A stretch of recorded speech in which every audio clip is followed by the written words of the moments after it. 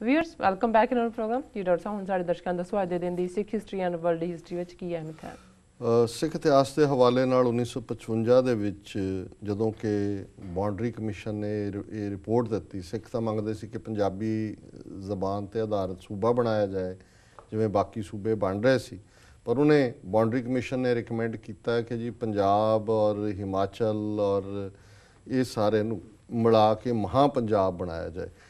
ਸੋ ਉਸ ਦੇ ਖਿਲਾਫ ਅੰਮ੍ਰਿਤਸਰ ਦੇ ਵਿੱਚ ਸਿੱਖਾਂ ਦੀ ਇੱਕ ਨੁਮਾਇੰਦਗਾ ਨੁਮਾਇੰਦਾ ਗੈਦਰਿੰਗ ਹੋਈ। 1300 ਦੇ ਕਰੀਬ ਰਿਪਰੈਜ਼ੈਂਟੇਟਿਵ ਸ਼ਾਮਲ ਹੋਏ ਔਰ ਉਹਨਾਂ ਨੇ ਹੱਦਬੰਦੀ ਕਮਿਸ਼ਨ ਦੀ ਮਹਾ ਪੰਜਾਬ ਦੀ ਰਿਪੋਰਟ ਨੂੰ ਰਿਜੈਕਟ ਕੀਤਾ। 1988 ਚ ਅੱਜ ਦੇ ਦਿਨ ਟੋਰਾਂਟੋ ਤੋਂ ਹਰਜਿੰਦਰ ਸਿੰਘ ਪਾੜਾ, ਇੱਕ ਯੰਗ 14-15 ਸਾਲ ਦਾ ਮੁੰਡਾ ਜਿਹੜਾ ਆਪਣਾ ਸਕੂਲ ਛੱਡ ਕੇ ਗਿਆ ਜੰਗ ਦੇ ਮੈਦਾਨ 'ਚ ਕਿ ਮੈਂ ਜੂਝਣਾ ਹੈ, ਸ਼ਹੀਦ ਹੋਏ ਅੱਜ ਦੇ ਦਿਨ।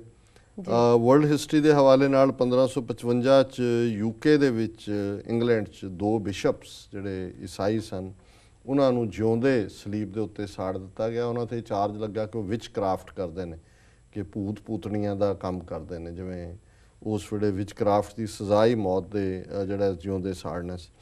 1793 ਦੇ ਵਿੱਚ ਫਰਾਂਸ ਦੇ ਵਿੱਚ ਰੈਵੋਲੂਸ਼ਨ ਹੋਇਆ ਔਰ ਉਹਨਾਂ ਨੇ ਜਿਹੜੀ ਕੁਈਨ ਸੀ ਫਰਾਂਸ ਦੀ ਮੈਰੀ, ਉਹਨੂੰ ਫੜ ਕੇ ਪਬਲਿਕਲੀ ਹੈਂਗ ਕੀਤਾ। 1829 ਚ ਟ੍ਰੀਮੌਂਟ ਹੋਟਲ, ਪਹਿਲਾ ਅਮਰੀਕਾ ਦੇ ਵਿੱਚ 170 ਕਮਰਿਆਂ ਦਾ ਮਾਡਰਨ ਹੋਟਲ ਬੋਸਟਨ ਦੇ ਵਿੱਚ ਬਣਿਆ 1834 ਦੇ ਵਿੱਚ ਲੰ- ਲੰਡਨ ਦੀ ਪਾਰਲੀਮੈਂਟ ਦੇ ਵਿੱਚ ਅੱਗ ਲੱਗ ਗਈ ਔਰ ਕਾਫੀ ਹਿਸਟੋਰੀਕਲ ਡਾਕੂਮੈਂਟ ਜਿਹੜੇ ਨੇ ਉਹ ਸੜ ਕੇ ਸੁਆਹ ਹੋਏ।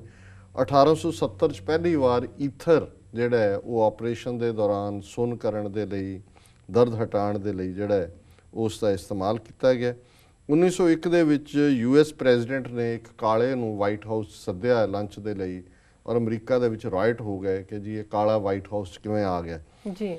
1928 ਦੇ ਵਿੱਚ ਮਾਰਬਿਨ ਪਿਪਕਿਨ ਨੇ ਬਿਜਲੀ ਦੇ ਬਲਬ ਦਾ ਪੇਟੈਂਟ ਲਿਆ ਚਾਰਜ ਫਿਰੇ ਬਲਬ ਜਗ ਰਹੇ ਨੇ।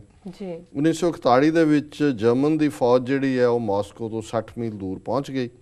1946 ਚ 10 ਨਾਜ਼ੀ ਵਾਰ ਕ੍ਰਿਮੀਨਲਸ ਨੂੰ ਹੈਂਗ ਕੀਤਾ ਗਿਆ ਨਰਮਬਰਗ ਟ੍ਰਾਇਲਸ ਤੋਂ ਬਾਅਦ। 1962 ਚ ਕਿਊਬਨ ਮਿਸਲ ਕ੍ਰਾਈਸਿਸ ਜਿਹੜਾ ਉਹ ਸ਼ੁਰੂਆਤ ਹੋਇਆ 1900 ਉਹਦੀ ਸ਼ੁਰੂਆਤ ਹੋਈ। 1969 ਦੇ ਵਿੱਚ ਚਾਈਨਾ ਨੇ ਆਪਣਾ ਨਿਊਕਲੀਅਰ ਧਮਾਕਾ ਕੀਤਾ ਔਰ ਦੁਨੀਆ ਦੀ ਉਹ ਪੰਜਵੀਂ ਨਿਊਕਲੀਅਰ ਪਾਵਰ ਬਣ ਗਈ। 2013 ਚ ਕੈਨੇਡਾ ਨੇ ਮਲਾਲਾ ਯੂਸਫਜ਼ਾਈ ਨੂੰ ਕੈਨੇਡਾ ਦੀ ਆਨਰੇਰੀ ਸਿਟੀਜ਼ਨਸ਼ਿਪ ਦਿੱਤੀ ਔਰ ਇਸ ਸਾਲ ਕੁਝ ਦਿਨ ਪਹਿਲਾਂ ਹੀ ਮਲਾਲਾ ਯੂਸਫਜ਼ਾਈ ਨੂੰ ਜਿਹੜਾ ਉਹ ਨੋਬਲ ਪੀਸ ਪ੍ਰਾਈਜ਼ ਵੀ ਦਿੱਤਾ ਗਿਆ ਹੈ। ਭਾਰਤੀ ਸਤਿਆਰਥ ਕੈਲਾਸ਼ ਦੇ ਨਾਲ। ਜੀ ਡਾਕਟਰ ਸਾਹਿਬ ਤੁਹਾਡਾ ਬਹੁਤ ਬਹੁਤ ਸ਼ੁਕਰੀਆ। ਹੁਣ ਸਾਡੇ ਹੁਣ ਅਸੀਂ ਤੁਹਾਡੇ ਕੋਲ ਕੁਐਸਚਨ ਪੁੱਛਦੇ ਹਾਂ।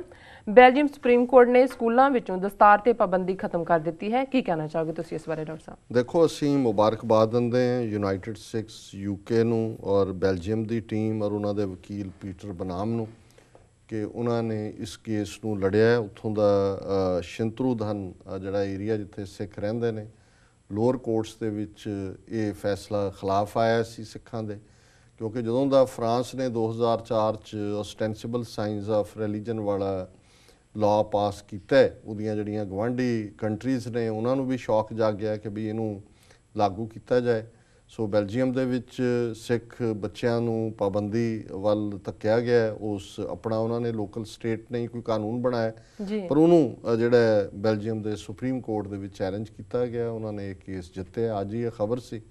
ਅਸੀਂ ਕੋਸ਼ਿਸ਼ ਕਰਾਂਗੇ ਆਉਣ ਵਾਲੇ ਦਿਨਾਂ 'ਚ ਕਿ ਇਸ ਕੇਸ ਦੇ ਹਵਾਲੇ ਨਾਲ ਇਸ ਕੇਸ ਨੂੰ ਬੀਬੀ ਮਜਿੰਦਰਪਾਲ ਕੌਰ ਜਿਹੜੇ ਕਿ ਯੂਕੇ ਦੇ ਡਾਇਰੈਕਟਰ ਨੇ ਯੂਨਾਈਟਿਡ ਸਿਕਸ ਦੇ ਉਹਨਾਂ ਨੇ ਹੀ ਅਗਵਾਈ ਦਿੱਤੀ। ਵਕੀਲਾਂ ਦੀ ਟੀਮ ਔਰ ਉਹਨਾਂ ਦਾ ਲਗਾਤਾਰ ਬੈਲਜੀਅਮ ਆਣਾ ਜਾਣਾ ਵੀ ਰਿਹਾ ਉਹਨਾਂ ਦੇ ਨਾਲ ਜਾਂ ਹੋਰ ਵੀ ਜਿਹਨੂੰ ਸਮਝਣਗੇ ਕਿ ਇਸ ਕੇਸ ਬਾਰੇ ਡਿਟੇਲ 'ਚ ਦੱਸ ਸਕਣ।